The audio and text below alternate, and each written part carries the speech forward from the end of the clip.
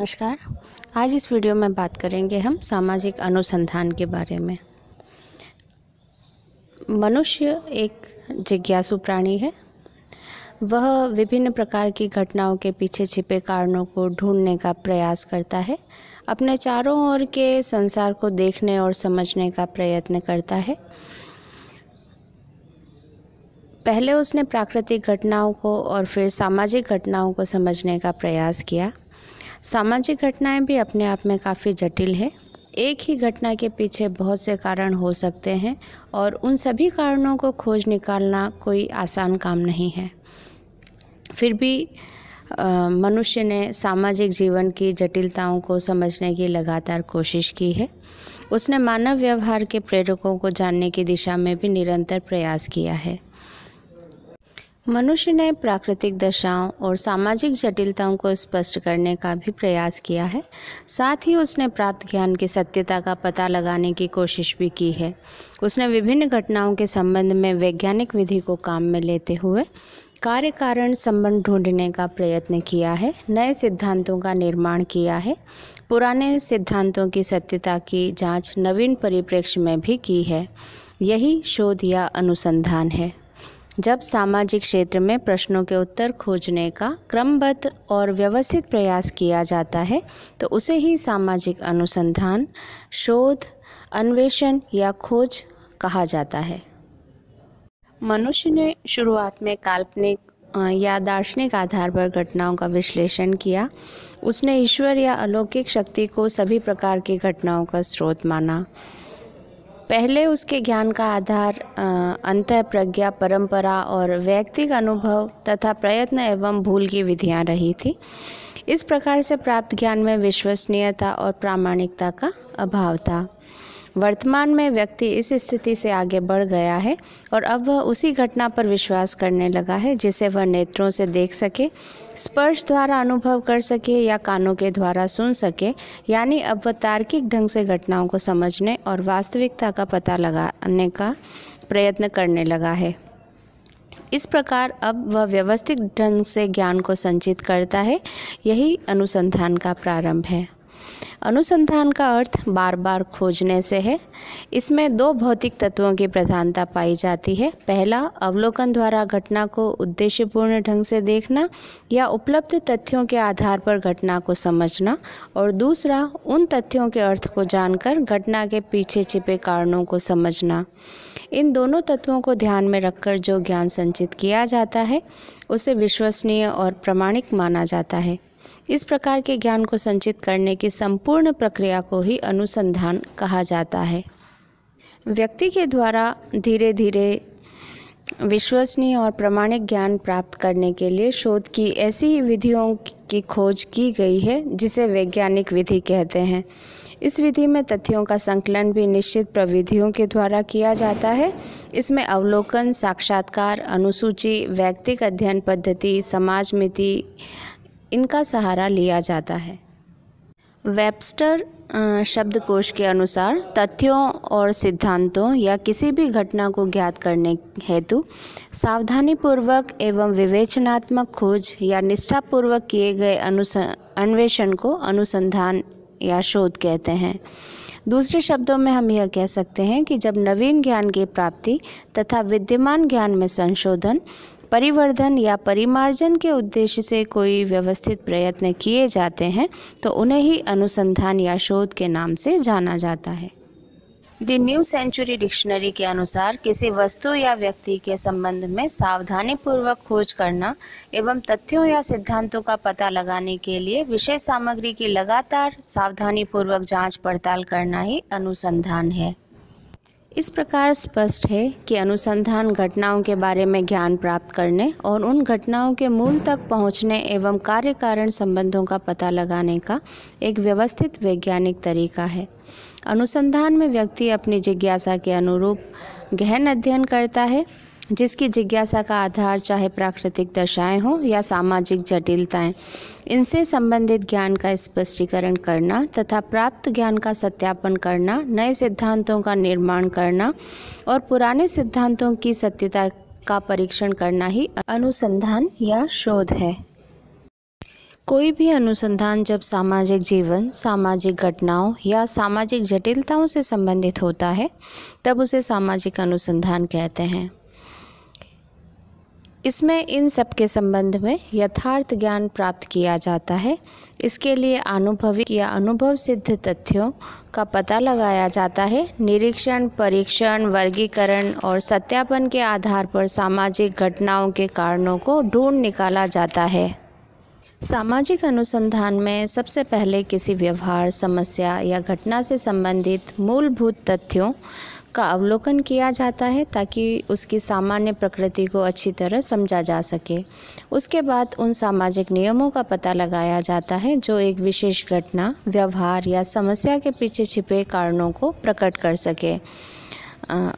संक्षेप में हम यह कह सकते हैं कि सामाजिक अनुसंधान में सामाजिक यथार्थताओं कि वैज्ञानिक विधि द्वारा खोज पर विशेष बल दिया जाता है।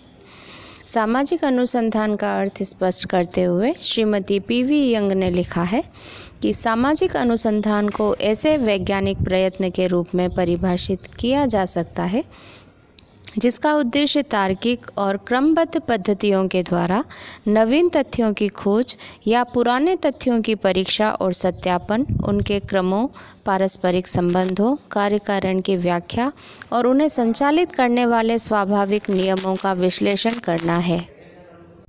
सामाजिक अनुसंधान को परिभाषित करते हुए सी एम मोजर लिखते हैं, सामाजिक प्रघटनाओं एवं समस्याओं के संबंध में नवीन ज्ञान प्राप्त करने के लिए की गई व्यवस्थित खोज ही सामाजिक अनुसंधान है। जी एम फिशर के अनुसार सामाजिक अनुसंधान सामाजिक परिस्थिति में सुनिश्चित कार्य प्रणालियों का प्रयोग है। जिसका उद्देश्य किसी समस्या को हल करना या किसी प्राकल्पना का परीक्षण करना या एक नवीन प्रघटना की खोज या प्रघटनाओं के बीच नवीन संबंधों का पता लगाना है। इसी तरह ई एस बोगार्डस लिखते हैं, साहचर्य में अर्थात एक साथ रहने वाले लोगों के जीवन में क्रियाशील अंतर्निहित प्रक्रियाओं की खोज ही सामाजिक अनुसंधान है।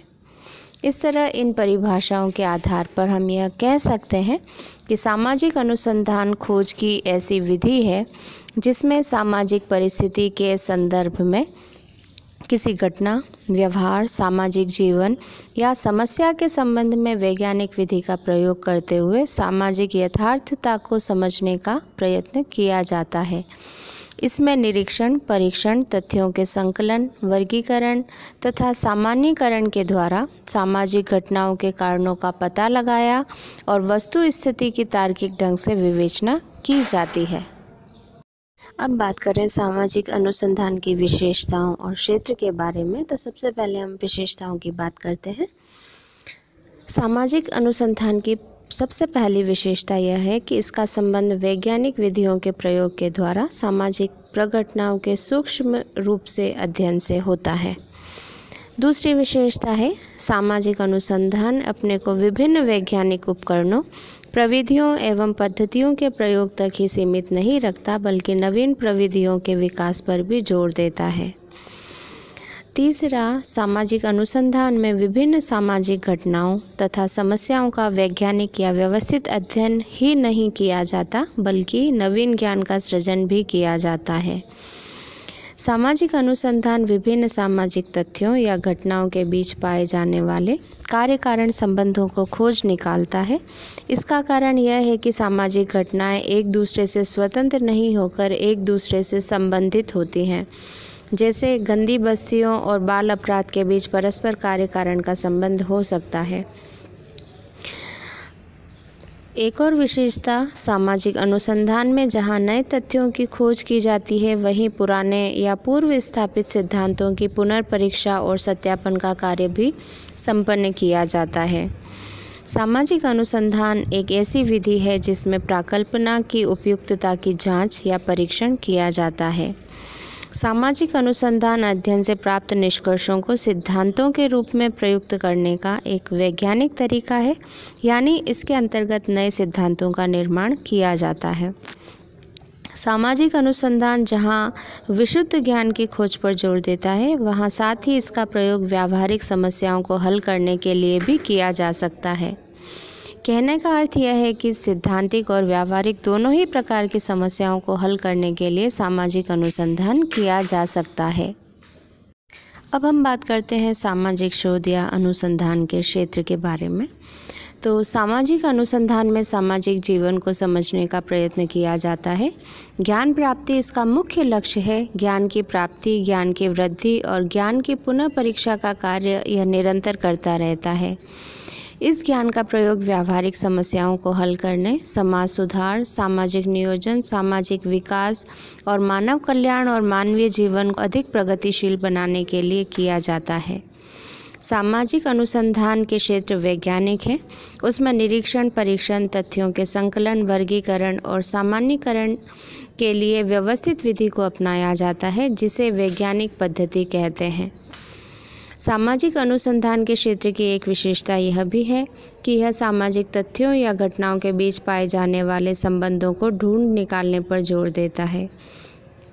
क्योंकि सामाजिक जीवन में सब जगह अंतर संबद्धता और अंतर निर्भरता पाई जाती है, सामाजिक जीवन के सभी पक्ष एक दूसरे के साथ घनिष्ठ रूप से जुड़े हुए हैं। सामाजिक जीवन को उत्तमता के साथ समझने के लिए इन संबंधों का पता लगाना बहुत आवश्यक है। यह कार्य सामाजिक अनुसंधान के द्वारा किया जाता है। सामाजिक अनुसंधान के क्षेत्र की एक और विशेषता यह है कि इसकी सहायता से सामाजिक जीवन और घटनाओं पर नियंत्रण पाने का प्रयास किया जाता है। अनुसंधानकर्ता अपने अनुसंधान कार्य में प्रयोगात्मक पद्धति का प्रयोग करने के लिए कुछ सामाजिक घटनाओं को नियंत्रित करके उसी के समान अन्य सामाजिक घटनाओं पर विभिन्न कारकों के प्रभावों को देखता है। इससे सामाजिक जीवन और घटनाओं के संबंध में उसके ज्ञान में वृद्धि होती है। सामाजिक अनुसंधान के क्षेत्र की एक और विशेषता यह है कि इसमें केवल मानव से संबंधित सामाजिक घटनाओं का ही अध्ययन किया जाता है। प्राकृतिक, भौतिक या अन्य प्राणियों के सामूहिक जीवन से संबंधित अध्ययन सामाजिक अनुसंधान के अंतर्गत नहीं किए जाते। सामाजिक अनुसंधान में मनुष्यों की सामाजिक क्रियाओं और उनसे उत्पन्न सामाजिक संबंधों के ताने बाने का, यानी सामाजिक संरचना का अध्ययन किया जाता है। सामाजिक अनुसंधान की विधियों का प्रयोग वर्तमान में केवल समाजशास्त्रीय अध्ययनों में ही नहीं, बल्कि अन्य सभी सामाजिक विज्ञानों में भी किया जाता है। सामाजिक अनुसंधान का क्षेत्र काफ़ी व्यापक है। सामाजिक अनुसंधान के अध्ययन क्षेत्र में संपूर्ण सामाजिक जीवन और उससे संबंधित सामाजिक प्रक्रियाएँ आ जाती हैं। सामाजिक अनुसंधान के लिए सामाजिक जीवन से संबंधित किसी भी घटना को चुना जा सकता है। आज अनेक कारणों से सामाजिक जीवन के विभिन्न पक्षों में तेज़ी से बदलाव आ रहे हैं। इसलिए पुराने नियमों, सिद्धांतों और ज्ञान की पुनः परीक्षा बहुत आवश्यक है। आज शोध कार्यों ने सामाजिक जीवन से संबंधित अनेक गलत धारणाओं को दूर करने में काफ़ी योग दिया है। वर्तमान समय में वैज्ञानिक खोजों के आधार पर यह स्पष्ट हो चुका है कि कोई भी प्रजाति अन्य प्रजातियों की तुलना में शारीरिक और मानसिक रूप से हीन नहीं है। सामाजिक समस्याएँ भी सामाजिक अनुसंधान के अध्ययन क्षेत्र में आती हैं। क्योंकि ये सामाजिक जीवन का अभिन्न अंग है। कोई भी समाज इनसे पूर्णतः मुक्त नहीं होता। जब तक इन सामाजिक समस्याओं की प्रकृति को नहीं समझ लिया जाता कार्य कारण संबंधों को ज्ञात नहीं कर लिया जाता, तब तक सामाजिक जीवन के संबंध में हमारा ज्ञान अपूर्ण या अधूरा ही रहेगा। आज के वीडियो में बस इतना ही। इससे आगे हम अगले वीडियो में बात करेंगे।